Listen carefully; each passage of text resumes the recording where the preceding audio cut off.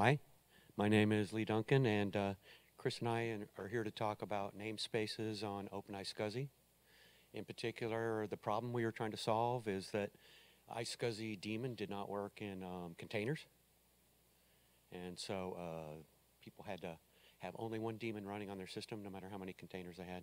So um, Chris had the idea about two or three years ago to, mo to modify it, to modify the, the kernel code so that it worked uh, namespace aware. And I took up those patches recently uh, and uh, forward ported them and we've both been working on it now for a couple months on and off. And it looks like it's working. We have a patch set we've we've uh, submitted that he's submitted that we both worked on. And so um, he's done most of the work. I'd like him to uh, he's got some slides that he would like to show you. And uh, I'm just here for the glory sure um, and so the, the whole idea here was how to um, there's, there's people trying to con- with iSCSI we have the uh, control plane split out into user space um, with the daemon, uh, just kind of the way iSCSI uh, had always been developed, um, and people see a daemon they try to throw it into a container.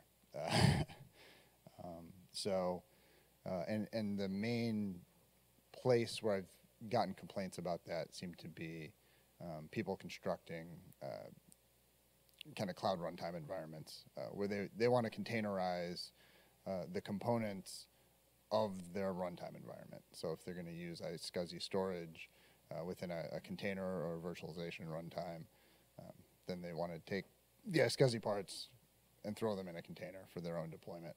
And uh, as soon as you try that, uh, it doesn't work.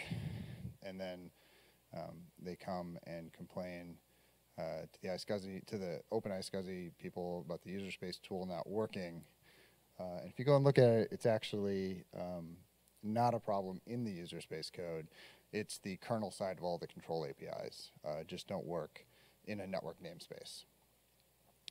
Um, so uh, people have been kind of limping along with the workaround of uh, putting it in a container, but always using uh, the host network uh, and you're kind of res- restricted to that. So, um, the the first thing that fails, and the main thing, is the uh, netlink uh, iSCSI commands just weren't listening uh, on anything other than the initial namespace. Uh, that was a really easy fix, and I thought it was going to be a really easy fix, and that that was going to solve it. Uh, at that point, um, you actually have a problem in that you can run multiple user spaces um, because we were essentially enforcing a singleton uh, through uh, reserving a, a, Unix socket name uh, for IPC. Uh, so once that goes to different namespaces, you can have multiple daemons running, and they all start um, trying to take over all of the iSCSI sessions on the system. and so they all want to uh, recover all the sessions, and, and things start getting reset, and it's a giant mess. So uh, the solution there uh, was to then start filtering out all of the transport objects in sysfs because that is what it uses to find everything uh, from the kernel side. So uh, the iSCSI transport has uh, a host and an iFace, which is sort of a representation of a network configuration on a host, and then the session and a connection, even though we only do one connection per session, and then an endpoint, which is uh, a representation of whatever the driver uses uh, in, if, instead of a socket, if it's not just software TCP.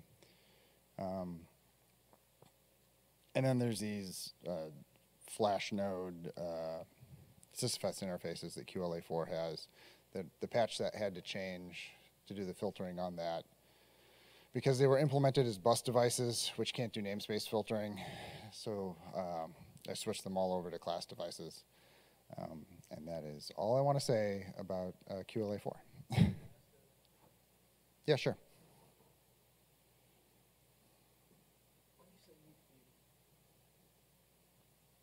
Space aware. Uh, can't you just use the interface? Because the way namespaces work, every network interface can be in one and only one namespace. So if you just pick by network interface for the outbound connection, you automatically get the namespace as well. That might be a, a simpler way of doing it.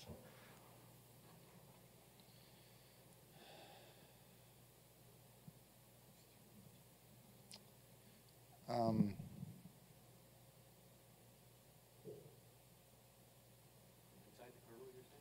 Well, yeah, I mean, the kernel just has a list of network interfaces. Right. But and as long as you can get that list unfiltered, uh, you can just select the correct network interface, and every network interface is in one and only one network namespace. So you're looking at it the other way around. You're saying, give me the network namespace, then what interfaces can I see?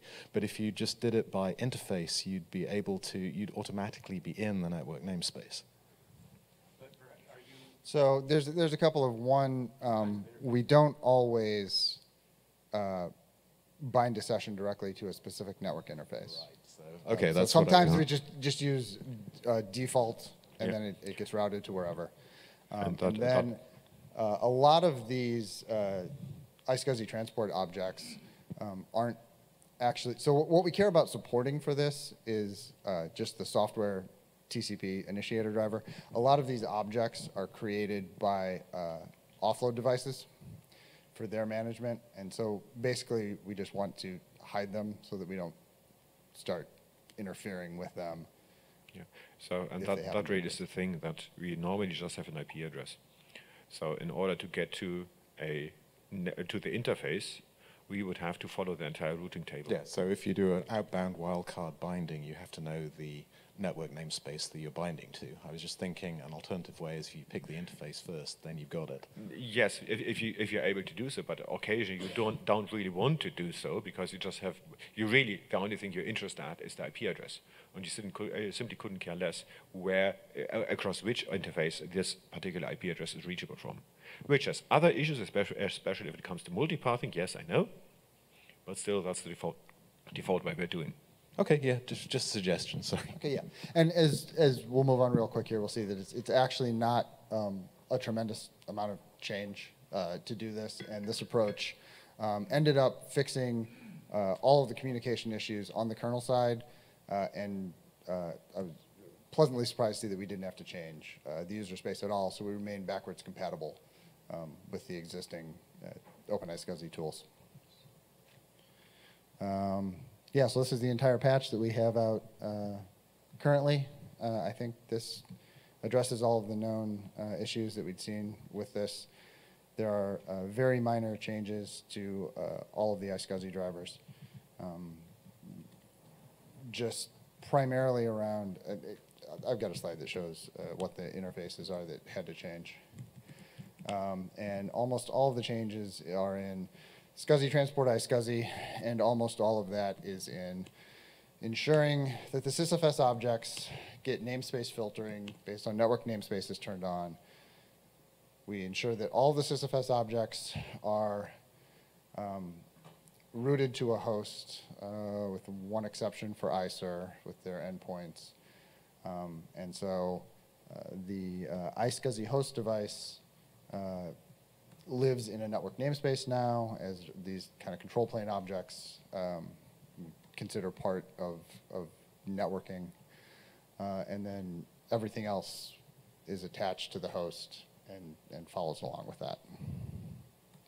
Um, so really, this is the, the kind of interface changes uh, for uh, TCP and iSER. Um, iSER mostly, we accidentally broke it, and then I had to fix it. And then once I fixed it, um, I realized that it was not going to be very much work to make it also namespace aware. So went ahead and did that.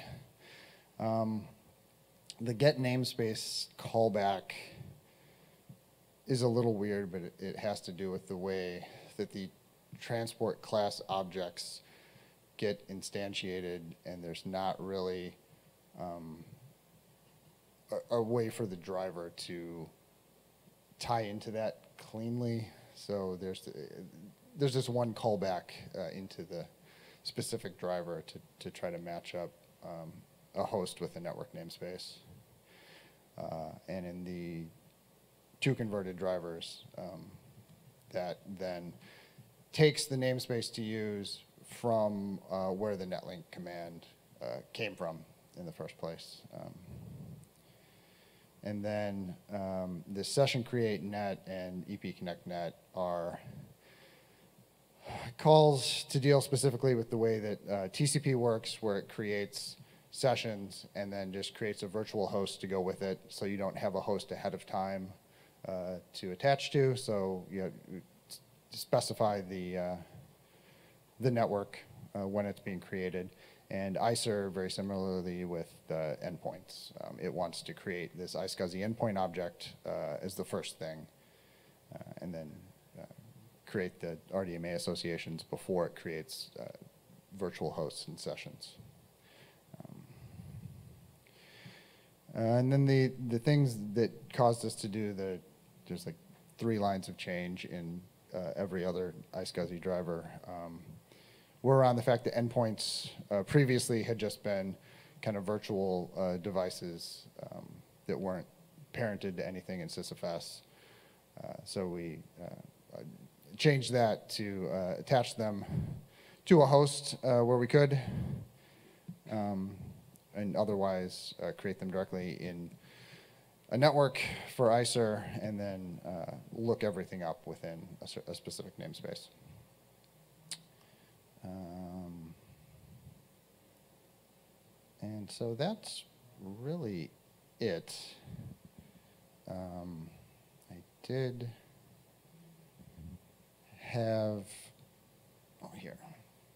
Anything else you wanted to say?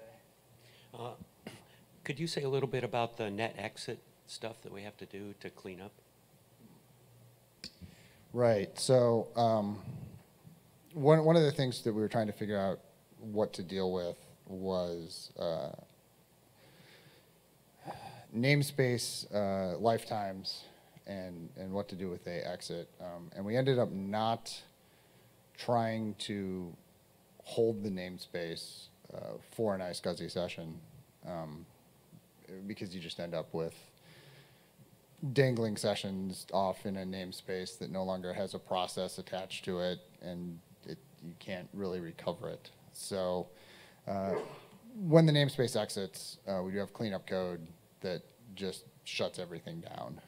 Um, there's uh, a bit of a weirdness, and I can I can show it to you with uh, TCP in that you um, if you're running a containerized iSCSI D and then you throw that away, um, there are still open kernel sockets with the session.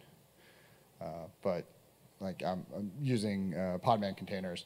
And so when the container goes away, uh, all your routes go away and it stops working, but it's still alive in the kernel. Um, and so if you are running with keep alives enabled, uh, that will time out and then the error recovery will uh, close the sockets and then the namespace will finally go away once it's not being held open by the active sockets and then we'll do all the cleanup on the iSCSI side. But um, Lee did discover that if you're running without any sort of keep alive and you didn't have any traffic that got cut off, um, then it's just a nice idle TCP session sitting in the kernel with an iSCSI session seemingly attached to it, doing nothing. Um, I mean, we probably would need to uh, ask Christian this, but um, can't we close the session when the namespace is destroyed? Wouldn't that be? well, the problem is the namespace. Or rather, no, no. If the namespace is detached, not destroyed, because as you just said, they'll be lazily destroyed. So there will- is some sort of well, whatever, keep a lifetime, whatever. Right, right. So the, the problem is that the, we, we do all the cleanup fine once the namespace is destroyed, um, but there's a live socket that's keeping the namespace open. Any IO will trigger the cleanup too. Can't you intercept the netlink, netlink event that says the device has gone away? Because what should happen when a namespace is shutting down is that all of them, if you've pulled away the routing, you've probably taken the network device down as well. If you can hook into that device, you can use that as the trigger for saying, yeah, the device has gone down. Now I can close all the sockets. Everything should just go away without needing the timeouts. And Netlink should send an event that says that. That might be a possibility, yeah. Because we should be able to, you're right, that, that would, that would show up. There would be a network device, so.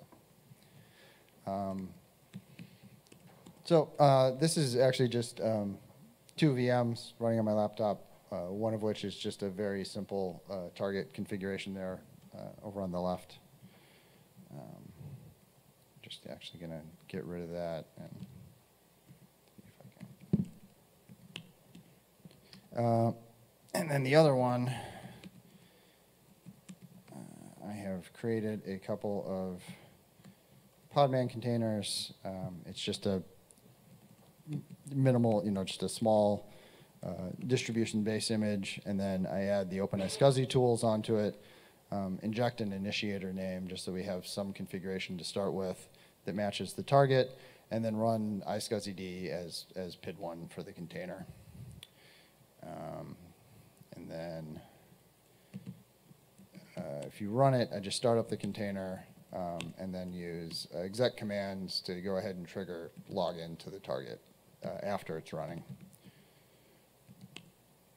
So you can do that, and it starts up. And from the outside, we can still see all the SCSI level stuff. We can see the device.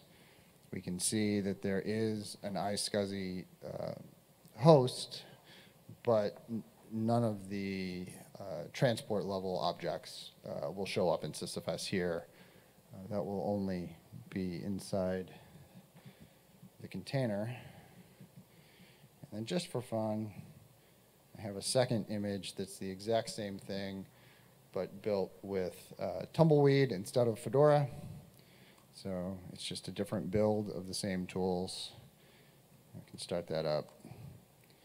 And we've got, you know, two different things uh, in here running.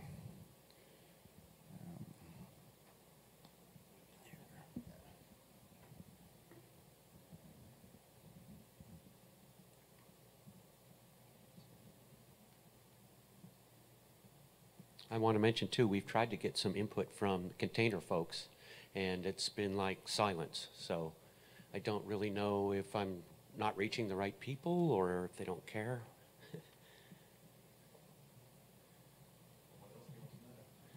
Well, I just want to know, uh, will this work for them? Do they want other features besides this?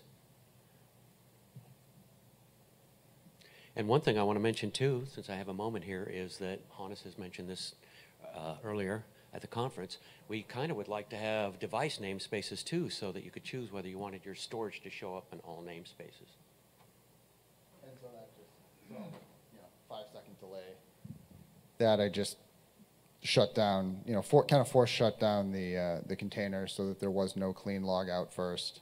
And then you saw the five second delay until the keep alive triggered and then the cleanup took away everything after. So that's the current state of where the patch set is.